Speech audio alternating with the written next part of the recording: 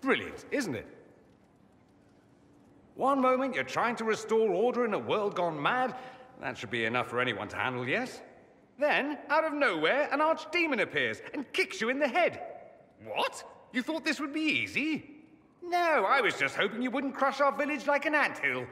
Sorry about that. Archdemons like to crush, you know. Can't be helped.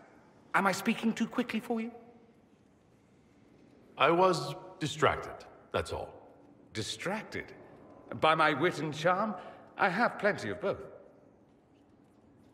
Today, at least. Oh, you wound me. I always assumed the Elder One behind the Venatori was a Magister. But this is something else completely. In Tevinter, they say the Chantry's tales of Magisters starting the Blight are just that.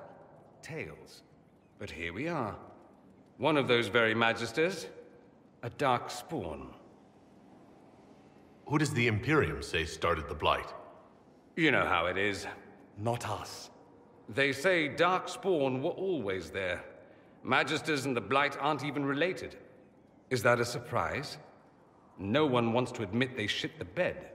But if Corypheus is one of the Magisters who entered the Black City and he's Darkspawn, what other explanation is there? Why does that make you angry?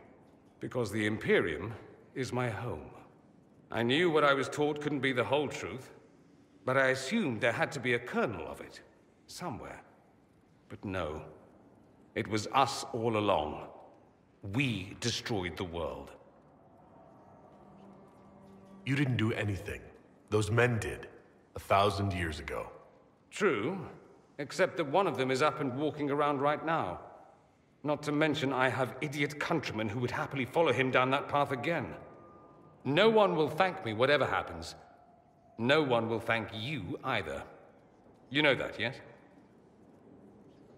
That's not why I'm doing this. I knew there was something clever about you. All I know is this. Corypheus needs to be stopped. Men like him ruined my homeland. I won't stand by and let him ruin the world.